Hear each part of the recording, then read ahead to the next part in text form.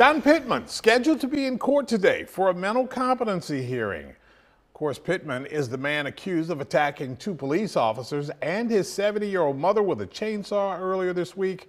Two NOPD officers were injured when they responded to the chainsaw attack in Gentilly on Monday.